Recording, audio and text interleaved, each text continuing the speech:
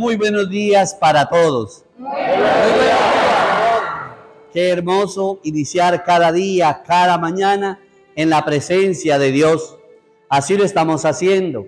Este saludo desde una capilla eh, dedicada a Jesús, al Señor de la Misericordia, en el... Nos encontramos en San Isidro de Chichimene, que es un centro poblado del municipio de Acacías.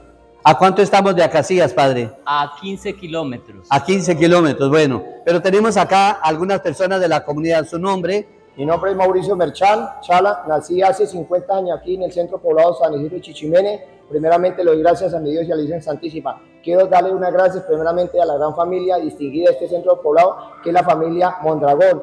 El fundador de este lugar donde nos encontramos se llamaba Don Benigno Mondragón y la señora Rosa Mondragón de Pardo. Entonces, para ellos un gran agradecimiento de parte mía, de mi papá, de mi familia y de toda la comunidad. Y como dice nuestro compositor del libro Acacia, Chichimenes por tierra de Dios bendecida, y le damos gracias, Monseñor, que esté con nosotros esta tarde compartiendo aquí con esta linda comunidad y que le pido por favor que nos dé la bendición plena y absoluta para que nuestro Dios del cielo y la Santísima Virgen nos acompañe y el Espíritu Santo nos dé iluminación para sacar esto adelante, Monseñor. Bueno, tenemos otra persona de la comunidad, su nombre. Hilda Elsa Sáenz, eh, yo nací en Maniquía, Boyacá.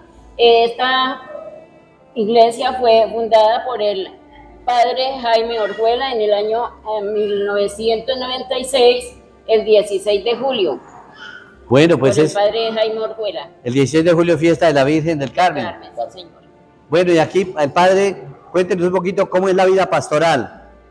La parroquia está compuesta por varias veredas. Empieza desde Patio Bonito, sigue la vereda La Unión, Primavera, El Triunfo, Santa Rosa y mucha comunidad hay aquí presente de Montebello, eh, donde pues, Monseñor, las distancias para ellos son a veces difíciles para poder acercarse a vivir sobre todo la Semana Santa, la Navidad. Eso lleva a que uno como sacerdote tenga que ir, como lo dice el Papa Francisco, en búsqueda de las ovejas. Nosotros untarnos de oveja y llevarles el mensaje de salvación a las familias que tanto lo necesitan. Ellos están sedientos de Dios y necesitan sacerdotes santos, llenos de Dios que transmitan eso a Dios en las familias. Bueno, muchísimas gracias.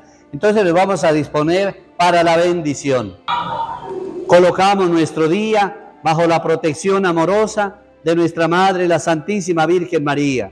Y la bendición de Dios Todopoderoso, Padre, Hijo y Espíritu Santo, descienda sobre todos y permanezca para siempre. Un bonito día para todos. Muchas gracias.